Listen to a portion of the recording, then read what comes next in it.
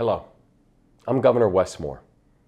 I speak for all Marylanders in saying our hearts are broken for the loss of Alejandro Hernandez Fuentes, Jose Mynor Lopez, Dorlian Ronial Castillo Cabrera, Maynor Yasir Suazo Sandoval, Carlos Daniel Hernandez Estrella, and Miguel Angel Luna Gonzalez.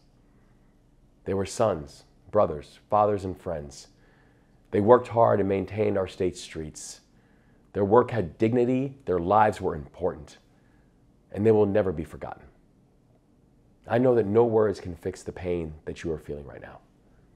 I promise that we would stop at nothing to bring your family back, and I pray that the fulfillment of our word brings you some peace. Please know that we will continue to support you in your journey towards healing and honor their spirits.